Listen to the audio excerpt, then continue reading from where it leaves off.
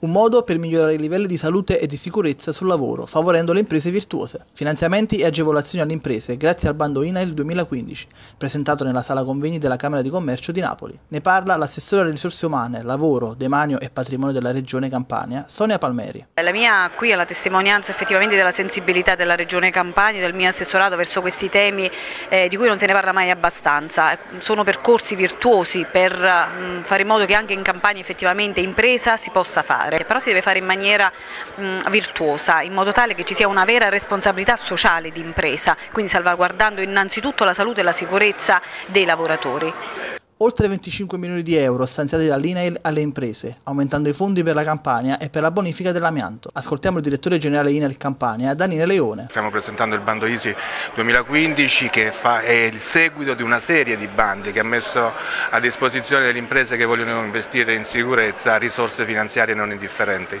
Tenete presente che dal 2010 ad oggi sono state messe a disposizione delle imprese oltre 1 miliardo e 200 milioni a livello nazionale e 112 milioni sulle imprese imprese campane e i risultati si stanno vedendo perché registriamo comunque una riduzione degli infortuni, delle denunce di infortunio. La prevenzione al centro dell'attenzione, con una serie di incentivi per le imprese che, almeno da un millennio, intervengono per migliorare le condizioni di sicurezza e igiene nei posti di lavoro.